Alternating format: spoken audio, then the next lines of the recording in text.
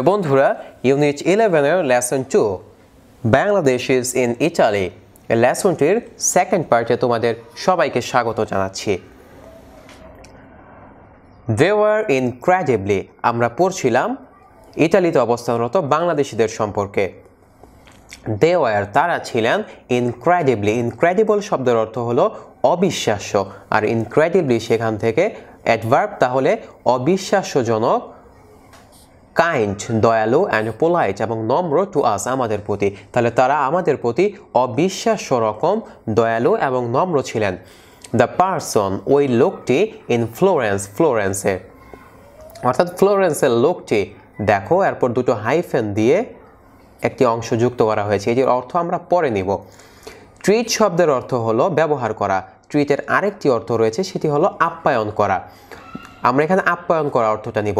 আর যখন আপ্যায়ন করা অর্থ নিব, তখন যা দিয়ে আপ্যায়ন করা হবে, তার পূর্বে সাধারণত আমাদের প্রিপোজিশন ব্যবহার করা হয় উইথ তাহলে ট্রিটেড আস তিনি আমাদেরকে আপ্যায়ন করেছিলেন with cokes and ice cream coke এবং আইসক্রিম দিয়ে। আচ্ছা এবার দেখো। Much to our protestation protest শব্দের অর্থ হলো বাধা দেয়া। আর প্রোটেস্টেশন আপত্তি। মাচ টু আওয়ার প্রোটেস্টেশন আমাদের অনেক আপত্তি সত্ত্বেও তাহলে ফ্লোরেন্সের লোকটি আমাদের অনেক আপত্তি সত্ত্বেও আমাদেরকে কোক এবং আইসক্রিম দিয়ে আপ্যায়ন করেছিলেন।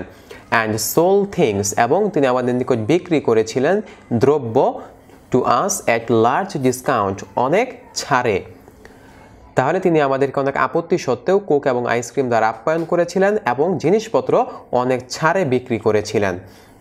When it came to prices when যখন ইট কেম এটা আসলো টু প্রাইজেস দামের ক্ষেত্রে ইটটা হলো ইন্ট্রোডাক্টরি ইট এটির ব্যবহার সম্পর্কে আমরা আলোচনা করব গ্রামারের অংশে ইনশাল্লাহ তাহলে কেম টু প্রাইজেস যখন দামের সময় আসলো দে সেট তারা বলল পে আস আমাদেরকে পে শব্দের অর্থ হলো পরিশোধ করা। তাহলে পে আস আমাদেরকে দিন হোয়াট ইউ ওয়ান্ট আপনারা যা চান। উই আর সো হ্যাপি আমরা খুবই আনন্দিত to see a Bangladeshi tourist here to see দেখতে পেয়ে আ বাংলাদেশি ট্যুরিস্ট একজন বাংলাদেশি পর্যটক হেয়ার এখানে। তাহলে আপনার যা খুশি তাই দেন, কারণ আমরা এখানে বাংলাদেশি পর্যটক দেখতে পেয়েই অনেক খুশি হয়েছি। It was a kind of haggling in reverse it was এটা ছিল a kind of haggling haggle শব্দের অর্থ হলো দর দর কষাকষি করা। তাহলে এটা ছিল এক ধরনের দর কষাকষি ইন রিভার্স রিভার্স শব্দের অর্থ হলো বিপরীতে। তাহলে তারা যে কথাটি বলল, যেমন ধরো আমরা যখন কোনো পরিচিত মানুষের নিকট কিছু কিনতে যাই, তাহলে কি বলি? তা আপনার যা খুশি আপনি দিতে পারেন, সমস্যা নেই। তারা আমাদেরকে এভাবে বলেন। তো আমরা কি বলি? না না, আপনার কত লাগবে আপনি বলুন। তো এই যে এটা দর কষাকষি নয়, তারপরেও এক ধরনের যে দর কষাকষির মতোই বলা যায়, সেটার কথাই এখানে বলা হয়েছে। যে বিপরীতে এটি ছিল এক ধরনের দর কষাকষি। ওয়ান স্ট্রিট ভ্যান্ডর ভ্যান্ডর শব্দের অর্থ হলো বিক্রেতা। সাধারণত যারা রাস্তায় জিনিসপত্র বিক্রি করেন, তাদেরকে ভ্যান্ডর বলা হয়। তাহলে ওয়ান স্ট্রিট ভ্যান্ডর একজন হকার ইন রোম রুমে আফটার সেলিং আ সানগ্লাস একটি সানগ্লাস বিক্রি করার পর অ্যাট এইটিন ইউরো আঠারো ইউরোতে টু আ ইউরোপিয়ান পারসন একজন ইউরোপিয়ান লোকের নিকট। একজন ইউরোপিয়ান লোকের নিকট একটি সানগ্লাস আঠারো ইউরোতে ইউরোতে বিক্রি করার পর টার্ন অ্যারাউন্ড আমরা জানি টার্ন অ্যারাউন্ড শব্দের অর্থ হলো ঘুরে দাঁড়ানো। তিনি ঘুরে তাকালেন অ্যান্ড সোল্ড মি এবং আমার নিকট বিক্রি করলেন সিমিলার সানগ্লাস, ওই একই সানগ্লাস ওই একই রকম একটি sunglass at four point five euro শুধুমাত্র সাড়ে চার ইউরোতে। কোথায় আঠারো ইউরো? আর আমার নিকট বিক্রি করলেন সাড়ে চার ইউরোতে। এখানে দেখো, একটি ব্যতিক্রম ধর্মী তোমাদেরকে ব্যবহার দেখায়। টার্ন অ্যারাউন্ড টার্ন অ্যারাউন্ড শব্দের সাধারণ অর্থ যেটা আমরা নিলাম, সেটা হলো ঘুরে তাকানো। কিন্তু এখন আমরা যে অর্থ নিব, সেটা হলো যখন কোনো লোক, কোনো বক্তা একটা কথা বলেন, তিনি মানে এমন ধরনের কথা বলছেন যেটা আসলে অবিশ্বাস্যকর। এটা কীভাবে হলো? এটা তিনি করতে পারলেন। এমন সারপ্রাইজ অথবা ধরো অ্যানোয়িং মনে করো খুব খুশি হয়ে গিয়েছেন অথবা খুব দুঃখ পেয়েছেন। এমন ক্ষেত্রে যদি তিনি কথা বলতে চান যে এটা সে কীভাবে করল, এইরকম একটি ভাব দিতে টার্ন অ্যারাউন্ড ব্যবহার করা হয়। তাহলে দেখো একটি সানগ্লাস সে ইউরোপিয়ান পার্সনের নিকট বিক্রি করল আঠারো ইউরোতে আর আমার নিকট শুধুমাত্র সাড়ে চার ইউরোতে। এটা কীভাবে হলো? এই যে এক ধরনের এটা কীভাবে হলো? এই ভাবটা দিতেই টার্ন অ্যারাউন্ড ব্যবহার করা হয়। এটির আমরা বাক্যে কোনো অর্থ নিব না, শুধুমাত্র ভাবটা নিব। আচ্ছা। I wanted to pay him more I wanted আমি চেয়েছিলাম টু পে হিম মোর তাকে আরও বেশি দিতে। But incredible as it seems কিন্তু ইনক্রেডিবল অবিশ্বাস্য অ্যাজ ইট সিম সিম মানে হলো মনে হওয়া। এটা অবিশ্বাস্য মনে হলো he would not take it would not take যখন উড নট এরপর কোনো ভার্ব ব্যবহার করা হয়, তখন এর অর্থ দ্বারাই হলো, সে কাজটি করতে অস্বীকৃতি জানানো, অর্থাৎ রিফিউজ করে দেয়া। তাহলে he would not take it তিনি এটি নিতে অস্বীকৃতি জানালেন। তাহলে আমি তাকে অনেক বেশি দিতে চেয়েছিলাম, কিন্তু অবিশ্বাস্য রকমভাবে তিনি এটি নিতে অস্বীকার করলেন। আই থিঙ্ক আমি মনে করলাম this barely covered his cost barely এটি একটি নেগেটিভ ওয়ার্ড যার অর্থ হলো না বললেই চলে। খুবই কম। মানে হয়েছে কিন্তু খুব কষ্টের সাথে। অথবা বলা যায় হয়নি বললেই চলে। এমন অর্থ দেওয়ার জন্য বেয়ারলি ব্যবহার করা হয়। Cover the cost cover the cost শব্দের অর্থ হলো যেই ব্যয় হয়েছে, কোনো দ্রব্য কিনতে যে ব্যয় অর্থাৎ ক্রয় মূল্য, সেটা পুষিয়ে তোলা।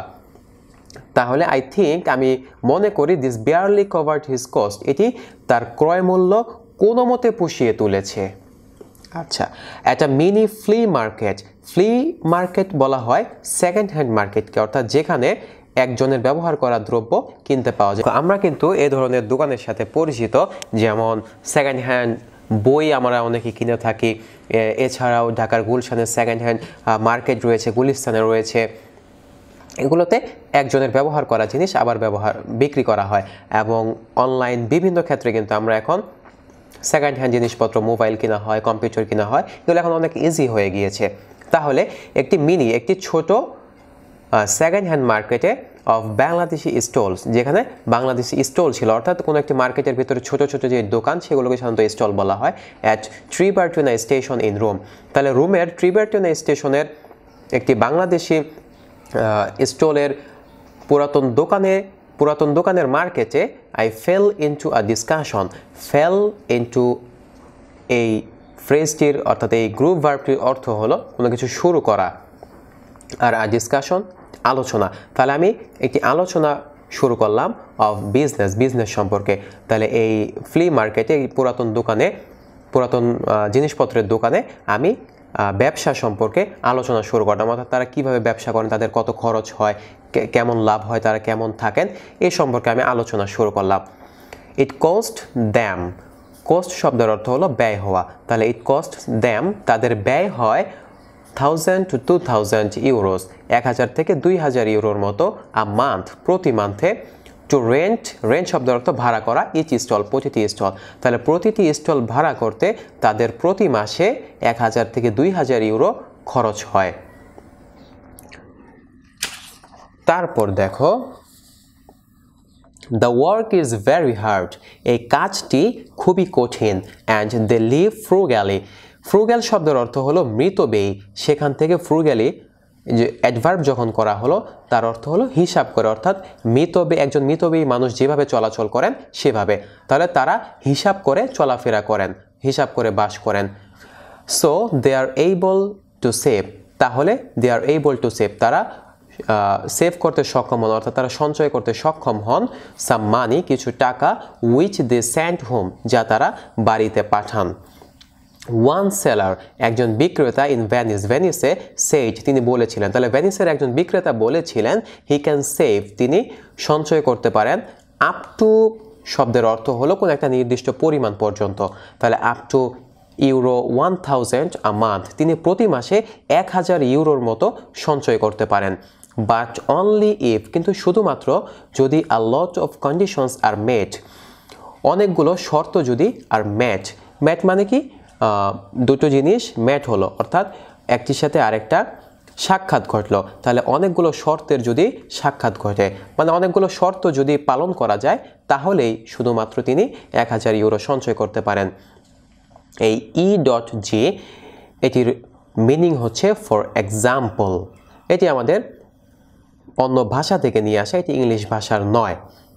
ফর এক্সাম্পল উদাহরণস্বরূপ he has to sell an average he has to শব্দের অর্থ হলো বিক্রি করা। এটি মূলত হ্যাভ টু সেখান থেকে যখন থার্ড পারসন তখন হ্যাজ টু নিয়ে আসা হলো। তাহলে হি হ্যাজ টু তাকে বিক্রি করতে হবে। হ্যাভ টু শব্দের অর্থ করতে হবে। সেখান থেকে হ্যাজ টু অর্থ তাকে বিক্রি করতে হবে। An average of fifty euros worth worth শব্দের অর্থ হলো কোনো কিছু সমমূল্যের হওয়া।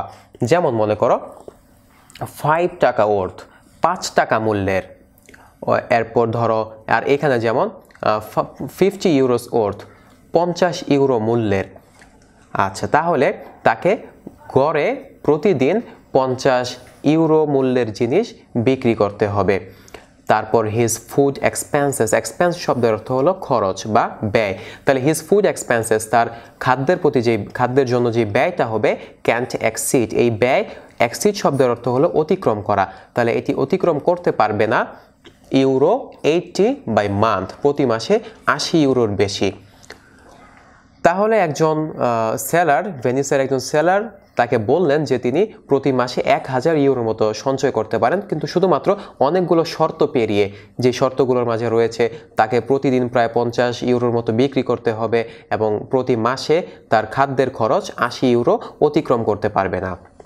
তারপর আই ওয়াজ ইন্সপায়ার্ড আমি ছিলাম অনুপ্রাণিত বাই দেয়া ইন্টারপ্রেনারশিপ তাদের উদ্যোগ গ্রহণ দেখে। ইন্টারপ্রেনার শব্দের অর্থ হলো উদ্যোক্তা, যিনি নতুন করে কোনো ব্যবসা শুরু করেন এবং ঝুঁকি নেন, তাকে ইন্টারপ্রেনার বলা হয়। সেখান থেকে ইন্টারপ্রেনারশিপ তাদের উদ্যোগ গ্রহণ দেখে আমি অভিভূত হয়ে গিয়েছিলাম। আমি অনুপ্রাণিত হয়েছিলাম অ্যান্ড টাচ টাচ শব্দের অর্থ হলো স্পর্শ করা। এটা দেহ স্পর্শ হতে পারে, অন্য কোনো জিনিসও হতে পারে, আবার মনও কিন্তু হতে পারে। তাহলে আমরা এখানে নিব মনে স্পর্শ করা। অর্থাৎ অভিভূত হয়ে গিয়েছিলাম বাই দেয়ার জেনারোসিটি জেনারোসিটি শব্দের অর্থ হলো বদান্যতা, উদারতা, দানশীলতা এমন। তাহলে আমি তাদের এন্টারপ্রেনারশিপ বা উদ্যোগ গ্রহণে অনুপ্রাণিত হয়েছিলাম এবং তাদের যে বদান্যতা তাতে আমি অভিভূত হয়ে গিয়েছিলাম। অ্যান্ড হোপ এই হোপ হলো আই তারপর যে ওয়াজ দিয়ে একটি অংশ বলা হলো, এবার আয়ের একই সাবজেক্টে অ্যান্ড কনজাংশন যারা যুক্ত করে আরেকটি ভার্ব শুরু করা হচ্ছে। এবং আমি হোপ আশা করি দেয়ার ডায়াসপোরা তাদের দেশান্তর কামস ট্রুসন খুব দ্রুতই সোন মানে দ্রুত। তাহলে কামস ট্রুসন খুব দ্রুতই সত্যি হবে। তাদের দেশান্তর সত্য হবে বলতে কি বোঝাচ্ছে? মনে করো আমাদের বাংলাদেশ থেকে তারা বিদেশে গিয়েছেন, কেন গিয়েছেন? নিজের জীবিকার খোঁজে জীবনকে আরেকটু সুন্দর করে সাজাতে। তো লেখক এটাই বলতে যাচ্ছেন যে তাদের এই ডায়াসপোরা বা তাদের এই দেশান্তরে যে উদ্দেশ্যটি, সেটা খুব দ্রুতই সত্য হবে।